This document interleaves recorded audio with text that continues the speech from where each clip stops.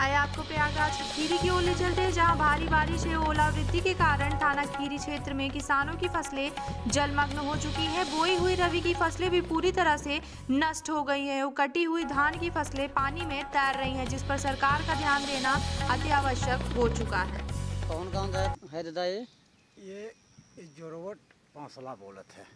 सलाह बोलता हाँ, है कौन से थाना के अंतर्गत आता है? खीरी तहसील कोराम अब इस बारिश से कितना नुकसान हुआ होगा किसानों का किस तरह? नुकसान है बाबा।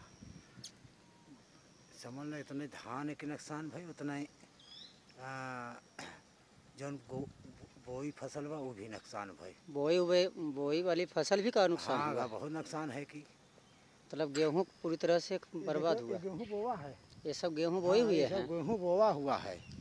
मतलब बीज भी खराब हो हाँ, गया। बीज खराब हो गया धान भी खराब हो गया। धान तो देख रहे हैं हाँ, इस तरह से। हाँ, हाँ। बहुत ज़्यादा फ़सल बची हुई है।